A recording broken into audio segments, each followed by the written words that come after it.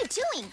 You can't just throw away a perfectly functioning machine. What are you talking about? Something gets old, you throw it away and get a new one. It's called planned obsolescence. Every electronic mind has something to offer. Oh, come on, Jenny. Not every machine can be upgraded. There are limits to what some machines can do.